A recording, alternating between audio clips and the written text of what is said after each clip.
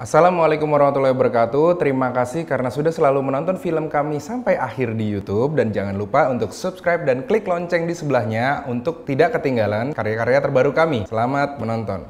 Dengar sahabat, jangan kau rapuh saat kau Bangun dan teruskanlah semua Yakinkan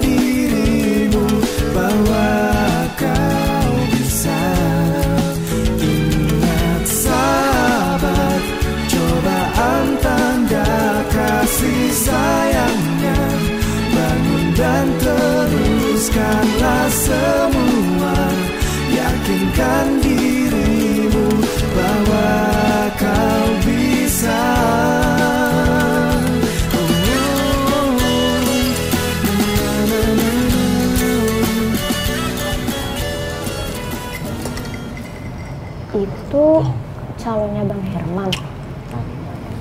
Kayaknya iya. Kelihatan ngobrolnya asik banget. Belum tentu, siapa tahu cuma temennya aja. Tapi bisa jadi lebih dari temen. Apaan sih, Dok? Gosip aja. Iya. Kalau tanggal segitu, sepertinya aku bisa. Keluarga juga pasti senang. Beneran, syukurlah. Alhamdulillah kalau begitu. Iya, aku yang lebih bersyukur. Calon istriku wanita cantik kamu. Ah, kamu bisa aja Bang Herman sayang.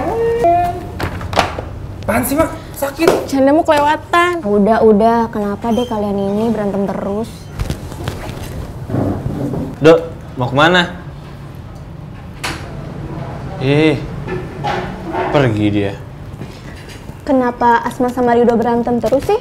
Soalnya Rido itu kayak anak SD. Kalau suka sama lawan jenis, pasti dia gangguin sama wasilin terus. Dewi.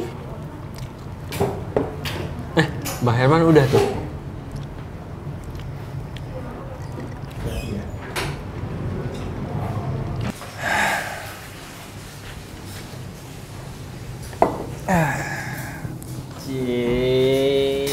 Apa sih? Itu calonnya Bang Herman ya? Bukan. Itu tadi Radini namanya. Dia itu eh, jurnalis majalah hewan gitu. Ada urusan apa majalah hewan sama Bang Herman? Aku kan udah lama buka bisnis eh, kayak peternakan kucing. Nah, itu tadi ngomongin soal kucing. Eh serius bang, ada ternak kucing kayak gitu? Bukannya dalam hadis diharamkan ya jual beli kucing kayak gitu bang? Iya, emang ada. Loh, eh jadi aku tuh di situ tuh kayak jual beli eh, kucing gitu tuh sebenarnya tujuannya lebih ke buat ngurus dia gitu, buat ngurus, buat ngasih tangannya mereka lebih ke situ sih. aku, boleh lihat pet shopnya? Boleh lah. Eh tapi eh, nggak enak ah, Bel- belum tepat kalau dibilang pet shop. Nggak apa-apa ya. Sore ini yuk bareng-bareng. Ayo gak bisa, Ayo mau pulang cepet-cepet. Eh, gue juga nggak bisa. Gue ada kerjaan biasa. Hmm. Pengen sih, tapi lain kali aja ya. Kenapa? Eh, Nggak apa-apa, pengen di rumah aja sore ini. Ya aku sendirian dong. Hmm, ya udah aku Gak apa-apa, di sana kan rame. Lagian kalau berdua-duaan, mana mungkin Bang Herman mau kan? Eh, Asma tadi ngomong apa? Ah, nggak apa-apa. Nanti kalau ada kucing yang bagus, aku nitip ya. Nanti belokan ke kiri kedua ada rumah pagar hitam. Di situ tempatnya. Kalau susah tanya orang aja. Tapi mapsnya udah sesuai kok. Assalamualaikum, Dewi. Bang. Waalaikumsalam.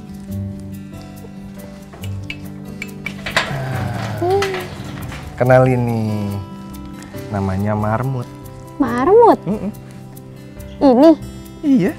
namanya Marmut. Iya keren kan? Eh. Jadi dia kucing, tapi tetap namanya Marmut. Eh, jahat banget. Nanti krisis identitas loh dia. Enggak lah, yuk masuk yuk. Ah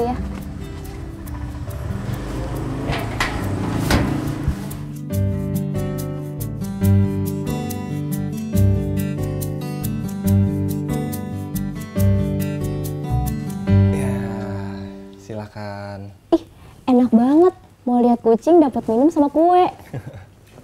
Ya biar kamu ambil kucingnya tuh. Hehe. Aku makan ya. Iya, silakan.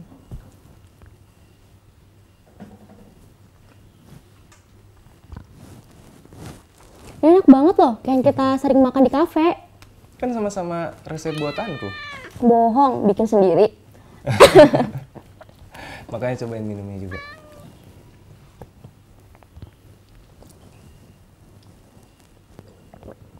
Ini curang banget, ini juga.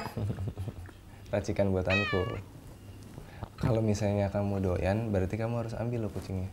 Ih, apa hubungannya Bang Herman? Kenapa sih? Aku tanya boleh ya? Boleh. Tapi aku jawab atau enggaknya suka-suka aku ya. Kenapa harus kucing Bang?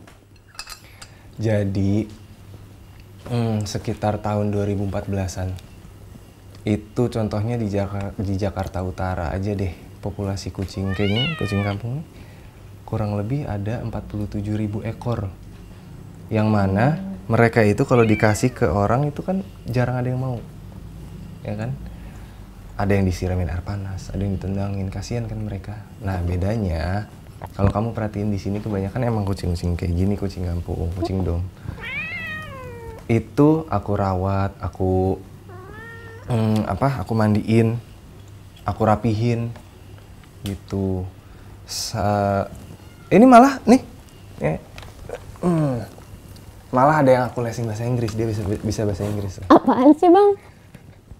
bisa tuh Berarti kalau yang kucing kampung jarang ada yang mau ngambil dong Bang? Eh, kalau menurut kamu kita diciptain buat apa Untuk menjadi khalifah? Hmm. Untuk mengemban amanah. Kalau aku menerjemahkannya gini, hmm, kita diciptain di dunia ini untuk diuji. Gitu. Ujiannya itu adalah sebesar-besarnya kita bisa memberi manfaat kepada makhluk yang lainnya. Nah, buat aku salah satunya nih buat kucing. Gitu. Karena kalau di sini mereka tuh aku rawat, aku mandiin sampai bener-bener rapi sampai harapannya bisa ada orang yang baik hati mau ngambil mereka gitu Bang, abang kok belum nikah sih? ya lah pertanyaannya Enggak bang, bukan yang ledek. Tapi emang abang nggak pernah jatuh cinta? pernah malah sekarang lagi jatuh cinta Sama siapa? Ada orangnya baik hati. Eh, suka ngingetin sholat. Sayang sama aku sayang sayang sama keluarga aku juga. Berprestasi juga. Jago masak. Ini yang ngajarin aku masak dia. Cantik. indah. Terus kenapa bang? ada sesuatu yang bikin kita nggak bisa menikah. Beda mazhab. Ya Allah, beda agama bang. kadang bukan perbedaan yang bisa menghalangi pernikahan justru sebaliknya persamaan juga bisa membuat dua insan yang saling jatuh cinta terhalang untuk menikah Wi. Assalamualaikum. Ngapain di sini? Ada perlu sama orang tuamu? Kisah persahabatan. Tumbuh cinta-cinta yang menawan Menghiasi hari-hari penuh misteri. Satu kisah kan selalu menanti